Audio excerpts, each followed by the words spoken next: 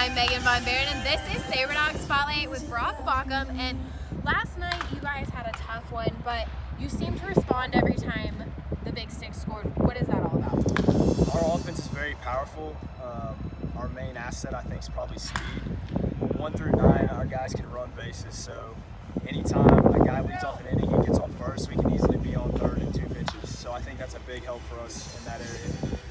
Corey yesterday, he said he recruited that way to get fast people. Are you guys on the base pass looking to steal, or is he giving you those? Absolutely. There's probably at least half the guys in our lineup who have the green light and can steal on any pitch.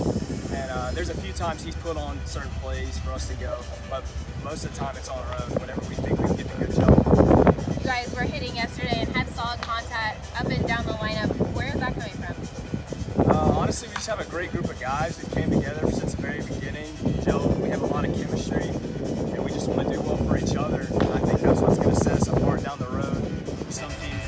together, they might be playing for themselves, and I think that's going to be the difference maker. Coming out today, how are you guys going to turn things around? Well, we're looking to do about what we did to start the game yesterday, come out hot, get a few runs on the board, and we're looking just to play better with the lead. That's something we struggled with, and we're going to get better at doing that so we can close it out in the end of the games. All right, Brock, thank you. That's all we got.